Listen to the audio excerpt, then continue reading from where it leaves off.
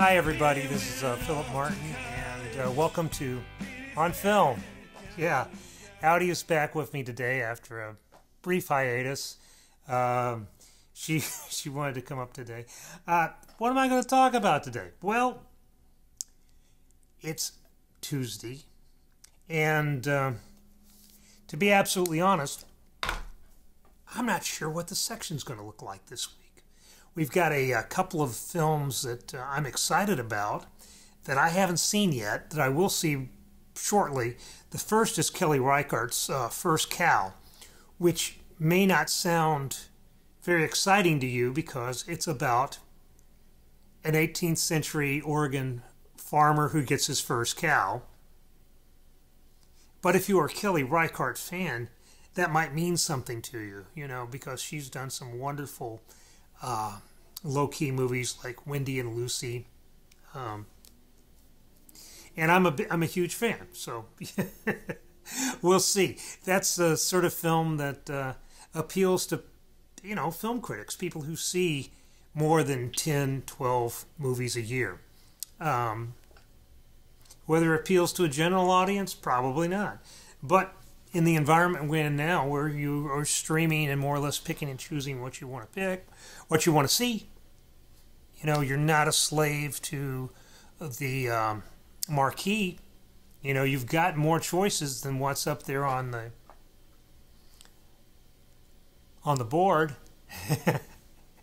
you know, I, am sure a few people will want to see it, and I'm sorry that it's apparently not going to be in local theaters because I think A24 has made it available for some theatrical release. I'm not sure exactly how that's working these days uh, because some of these things are being sent to drive-ins only, and some of them are available in what they call virtual cinemas. And I think they're still having a little bit of a problem getting things into actual brick and mortar theaters. But yeah. Anyway, First Cow is something I'm looking forward to. The other one is a IFC horror film called Relic that um, stars Emily Mortimer and was a big Sundance hit. And uh, I'm not normally in the mood for horror films. I'm not a huge horror fan. And the last two I can remember liking were The Babadook and uh, and The Witch. And uh, you know, I'm not in for this. I'm not down for the scare of the week, but uh, this one looks interesting. It might be something worth seeing. The main film this week, which was really the main film last week, but I think I talked about it a little bit, uh, how I was anticipating seeing it. It was Hamilton, which I have to admit I'm sort of um, almost embarrassed because I was a Hamilton agnostic. Uh, it wasn't that I didn't think it was a good show. I didn't think it was the sort of show that I was going to change my life. I'm not the sort of person whose life gets changed by a movie. Fair enough. I mean, most of us aren't. I mean, uh, there are movies I really love. There are movies that really uh, affected me. Hiroshima Mon Amour, The Searchers, a lot of the early 70s stuff, The Conversation, uh, Dog Day Afternoon, Bonnie and Clyde that have had a, a big effect on me, and I'm, you know, I really cherish them. But as far as you know, changing my life, I wouldn't say that there's ever been a film that did that. But Friday afternoon, and the story, the backstory, the backstory is that um, for some reason, I'm not going to antagonize anybody, but for some reason, we have not gotten along very well with the folks at Disney for the past ah, 15 years. I don't know exactly why, but we've always had trouble getting, you know, screeners for their stuff, invitations to screenings, um, access to their people. They just don't really, and whether it's a, just a matter of market size or whether it was, you know, I'm, I'm sure it wasn't like we were down on some list you know, that they had in corporate headquarters that, you know, said, you know, bad list or anything like that. though knowing Disney, that's always a possibility. Uh, but for whatever reason, we didn't. We never get anything from them. We don't really have much of a relationship with them. We don't have a publicist that we can call uh, with regard to Disney product, whether it's a DVD or um, a movie or now the new streaming service. So, last week, you know, actually, I'm going to tell a story. Piers Marchant got a link to Hamilton from his local Disney rep. And if you don't understand the way we work here, Piers is based in Philadelphia. His mom is in Northwest Arkansas, and you know, I don't know how many many years ago he approached us about writing movie reviews for us. And at the time, we were starting to realize that we needed somebody who was based someplace other than Little Rock or Northwest Little Rock or Northwest Arkansas to write movie reviews because they just had stopped screening movies here in this market. And back in those days, most of the time you went to a physical movie theater and sat in a seat and watched the movie with a crowd or with other critics, you know, and that's how you saw your movies in advance. Now, they stopped doing that here maybe 15 years ago, really. Um, probably because we're a small market and because they don't realize that the market for the Arkansas Democrat Gazette is actually the whole state of Arkansas, which is why our newspaper is basically as big as the Boston Globe. But even though we're based in a, a, a market that may be the hundredth largest market in America. Okay. So Piers gets this invitation to watch an advance copy of Hamilton. Now, Piers is busy um, didn't want to do it, maybe. So he sends it to me. And I, of course, can't use his link, but it's got a address for a Disney rep. And so I wrote the Disney rep on there and asked for my own link. And I got it. Too late for our purposes for last week. For our deadlines movie style deadlines are interesting because we still kind of produce the paper in the traditional way that we lay it out. If you're looking at it on an iPad, you can see it looks like a newspaper. So, and we actually have a physical newspaper that we print every day too. And because of that, we have some lead time. We have deadlines that are a few days in advance of uh, of our publication date. I don't know why that's hard to understand, but you know, a lot of people seem to have trouble grasping that. They can't call me on Friday morning or on Thursday morning and expect something to get in the newspaper on Friday. Now, the reporters, the A section, the Arkansas section, yeah, we can do that, but not in a what we call a pre-printed style section. It's, our deadlines are actually my deadlines are probably Wednesday afternoon, but practically they're Wednesday morning. By if I don't have anything, if I don't have something by 10 o'clock, it is likely not going in the newspaper. Arkansas Cinema Society, pay attention to that. I need something before Wednesday morning if it's going to go in that week. Okay. They know that. But anyway, I get the screener from Disney, and it comes in too late. Comes in Wednesday afternoon, and I debate you know, maybe I should have done this. Maybe I should have rushed through it and written the review and then subbed it in and got it in. We couldn't have got it in a prominent place, but we could have probably put it in a section. I could have, but that was solved for me because to, to watch the screener, I had to download an app. And I downloaded the app. And I didn't have a password for the app, and it said if you don't have a password, you know, click the Forgot Password app. It'll take you to the page. You can make your own password. Well, there's no Forgot Password clicky on this thing.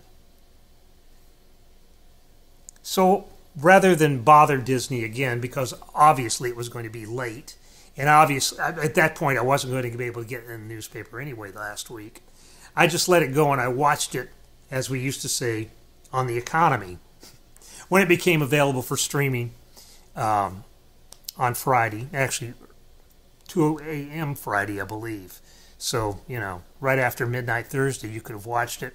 Uh, we watched it. Karen and I sat down on Friday afternoon, and you know we watched, uh, and so did you. Audi, uh, we watched uh, Hamilton, and we were thinking about it. We were thinking, you know, this is probably a good way to see Hamilton because it's a long, it's two hours and 40 minutes. We can pause it. We can come back to it tonight or tomorrow.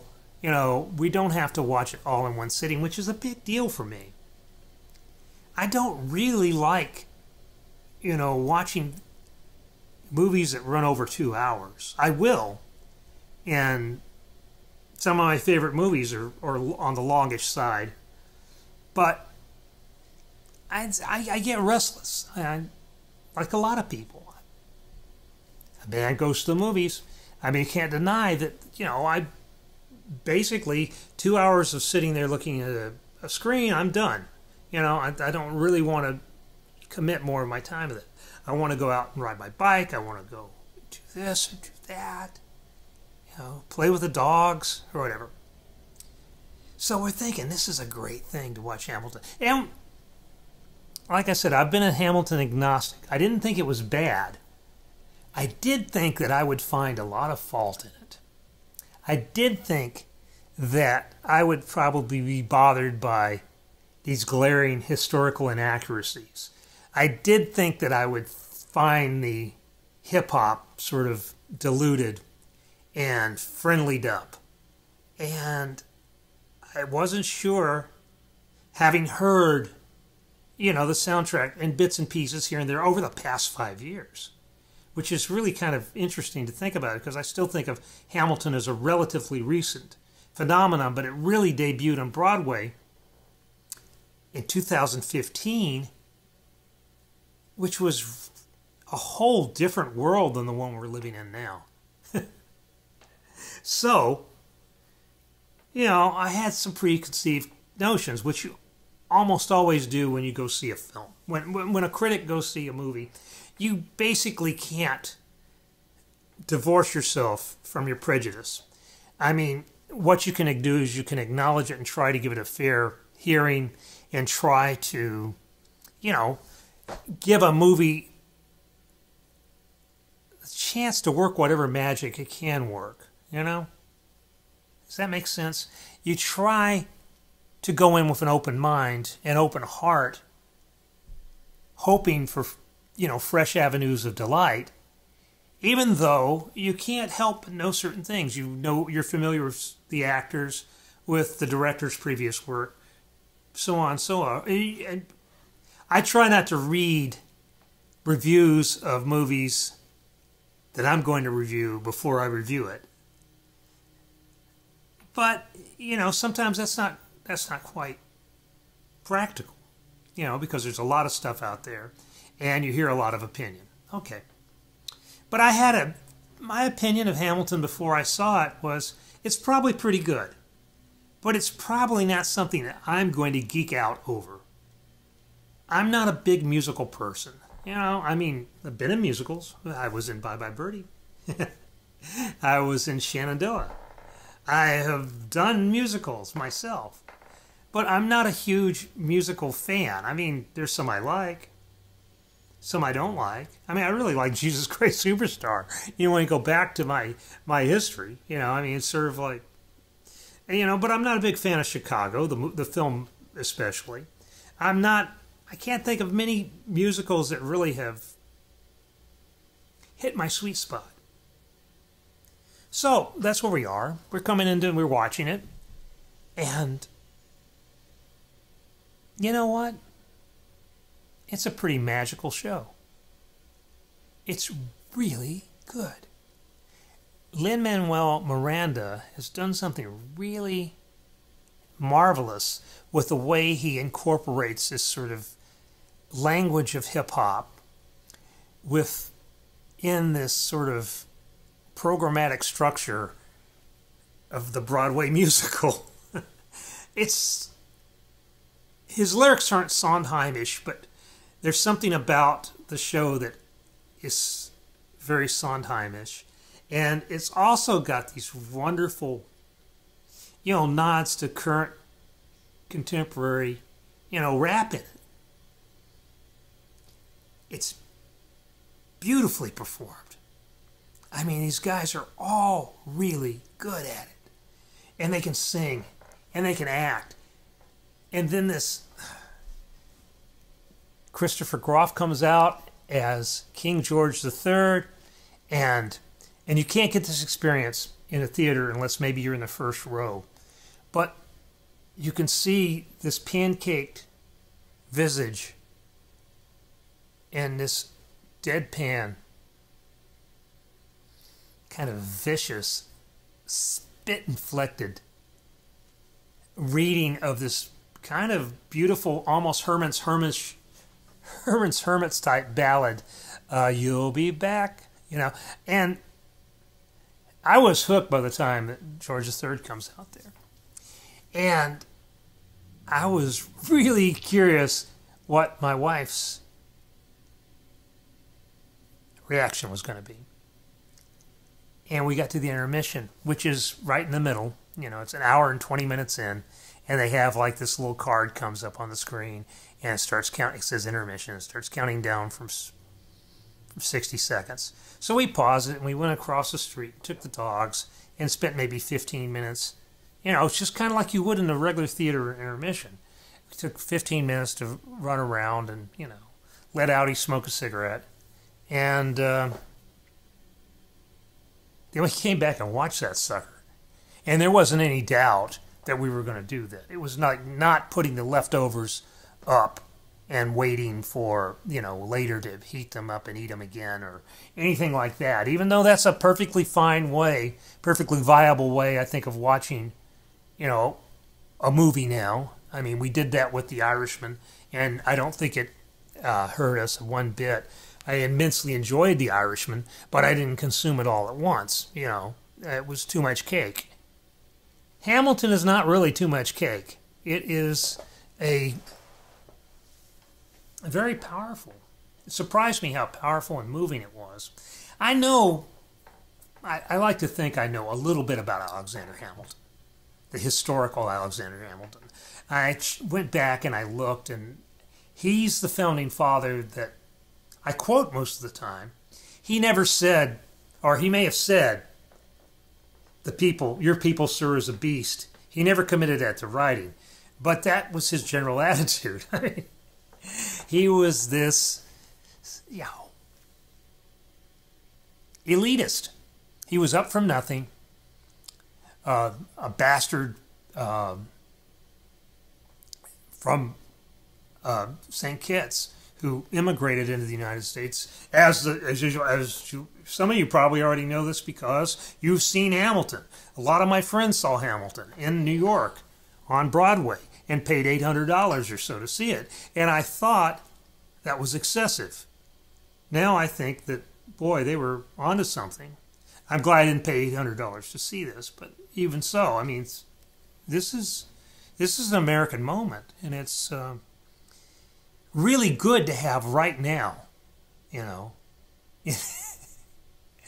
in this uncertain hour when we have not a whole lot of common experiences now. We're all shuttered away in our own little houses, and we all kind of creep out and do this and that kind of furtively with our mask on, you know. Um, but this is something that we basically are doing together, you know. Everybody who has Disney Plus, anyway, is watching Hamilton this week or last week. So I thought it was worth writing about, and I wrote about it for for this for for this section. And I probably gave away a lot of what I wrote just now if you listen to me talk, but I'd rather you read it than listen to it. than listen to me rabber. Um, so I'm just, I guess I was humbled, and I really am it's sort of funny because I, I remember Bill Simmons, the uh, sports guy who now has the Ringer where he does podcasts and stuff like that. And he wasn't on to The Sopranos, or no, it wasn't Sopranos. It was The Wire. He wasn't on to The Wire for a long time, long after it stopped actually running new uh, episodes. And then he got into The Wire, and all of a sudden it became like the greatest TV show ever. And it may well be the greatest TV show ever. I really like The Wire too, but it it's that I don't want to come across as you know like like a recent convert. Though I am a recent convert because I really never considered spending a lot of money to go see Hamilton. I would have probably go see it when it came to Little Rock. When the touring show came, I would probably have gone seen it. I would have probably watched this movie even if it had come out, you know, in theaters and I hadn't written about it or anything. I probably would have eventually seen it. It would have been part of my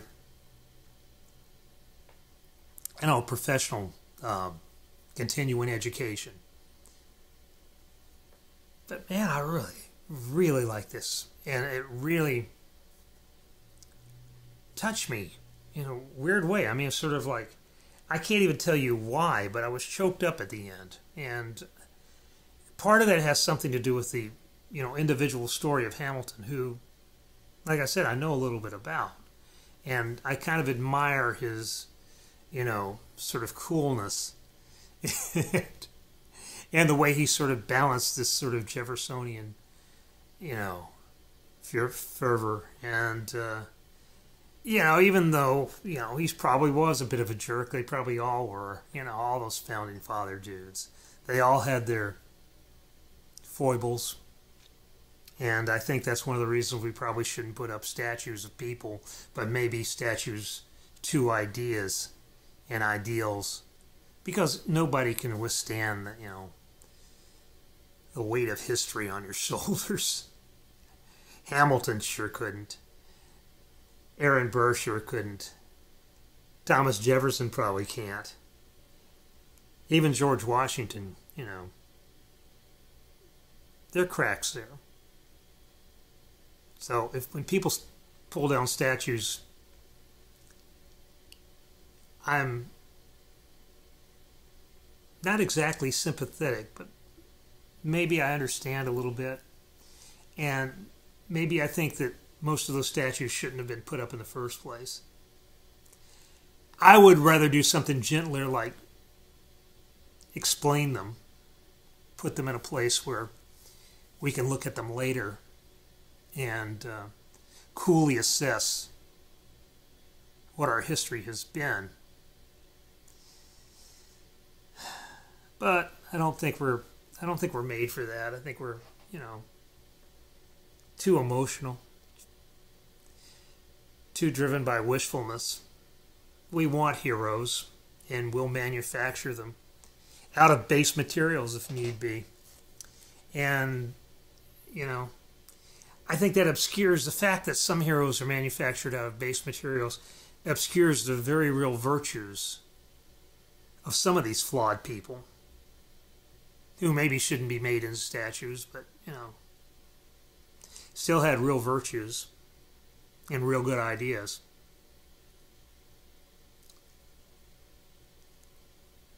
Hamilton. Well, maybe somebody should put up a statue of Lin Manuel Miranda, because it's it's a real work. Ah, it, it does what art's supposed to do and it can bring you together. It will make you, it will hurt you, and it will uplift you. And that's about the best we can hope for, isn't it? I mean, it feels real. It feels real in that, you know, it doesn't feel cheap or forced. So that's my recommendation for this week. See Hamilton if you haven't seen it. If you have seen it, well, maybe you have opinions on it. You can you can let me know about that. That'd be fine. Let Audi know. Audi's seen Hamilton. What'd you think? She liked it. She liked it. She liked it. She likes Hamilton. She likes ice cream. Yeah. Um, that's about it for this week. We got a good section, I hope. If everything comes through, we'll have a really good section. Oh, I should say that as of last, as of June 30th, movie style turned 20 years old. So we've had this section for 20 years. We've had the movie reviews for longer than that. We've had this section for 20 years. So happy belated birthday to us. And uh, take care, and we will someday see you at the movies. I might be there again this weekend. You never know.